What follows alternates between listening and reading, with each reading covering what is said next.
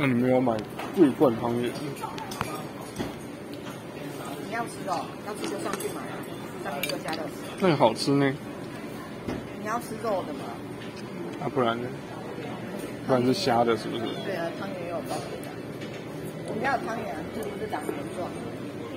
汤方，我家的是饺子状的汤圆，里面没有虾。我有问老板，什么叫饺子状的汤圆？